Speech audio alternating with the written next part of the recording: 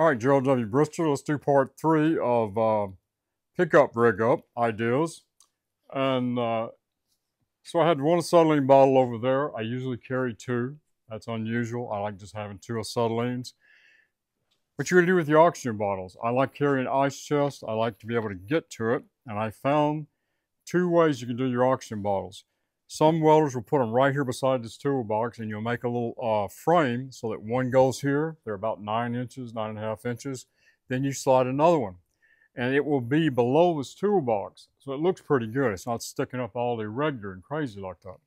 Or you could lay one here and another one here. And that would bring you out here like 20 inches. So, and you lay them down in some four inch channel and you build a little four inch channel frame like this channel, channel.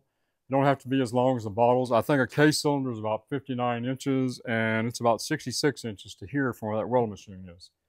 So you're going to have like a six inches with the caps on the bottles right here from the end of this tailgate. What it does, it's going to open up a space here where the caps are and it's big enough for a vise.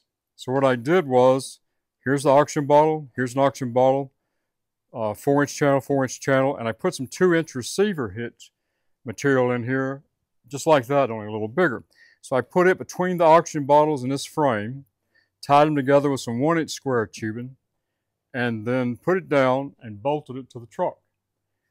Then I bolted a vise to that slider, and it would slide out here to the back of the truck or a little further sometimes. Somewhere out here, I just pull it out like that reel and then push it back in. And there's enough room between the oxygen bottles that that'll fit. A most standard size vise will fit, okay?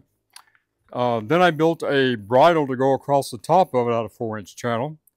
And so I cut a piece of four inch channel, however long the two bottles are. I would cope them out to saddle on top of the two oxygen bottles. And then I would weld a bolt here in this framework, cut a hole, set that bridle over it, tighten the, the nut down, and that would hold the bottles to the truck. They're never going to jump up when you hit a bump. And that allowed me to have an ice chest back here. The bottles themselves are just the right height for an ice chest to fit right in here.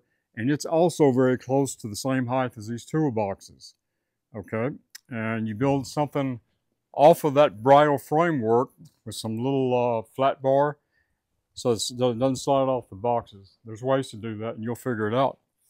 Then what about the, the leads? Well, I put the leads over here, and I also had a had a uh, receiver hitch type deal. I think I had uh, some some uh, not square, it was more rectangle, right here. And I built a framework that came here, receiver hitch came out, and it had an L shape, like this. On that, I built two of the old style uh, lead roll-ups, like an oval, like this. You've seen people roll those. I had a, had one for the ground, one for the positive, and they were about so wide you can figure up the wraps for a hundred foot or wherever you want. So I had like this, the leads here.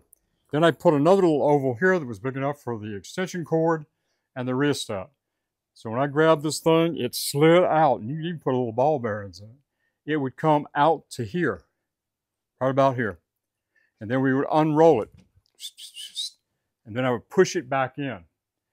When it was pushed back in, then all of this area here was free to fabricate off of, and I could pull that vise out here to work if I needed to. Worked out really, really well, okay? Really well. I'm Gerald Brister, and we'll do the next part.